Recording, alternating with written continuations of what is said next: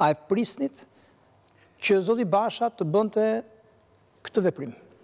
Edhe këtë herë Basha nuk zhgënjeu në ecurinë e performancës tij. Si gjithmonë vepron në minutë të fundit, natën, siç ka vepruar dhe me kolegë të tjerë në Partinë Demokratike kur i ka përjashtuar nga Partia Demokratike.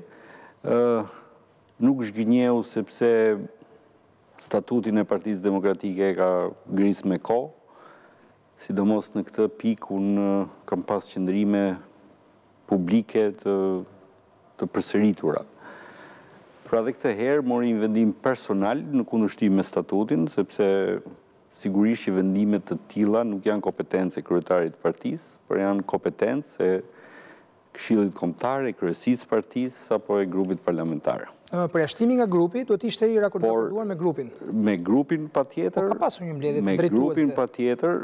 Me kryetar komisionesh. me kryetar parlamenti, kryetar grupi. Së pari referoheni deklaratës që bëri, sepse kryesia e grupit nuk është organ vendimmarrës. sipas statutit të Partisë Demokratike. Organet vendimmarrëse në Partinë Demokratike janë Kongresi, Këshilli Kombëtar në periudhën midis dy kongreseve, për ato vendime që s'i merr Këshilli Kombëtar i merr Kryesia. Po pra, amerikanët nuk mendojnë kaq shumë për këto subtilitete, se po ta vrisnin mendjen për këto subtilitete, nuk Tani të lutem, të lutem, ne po flasim për institucione, po flasim për rregull dhe për një parti e cila ka një statut të regjistruar.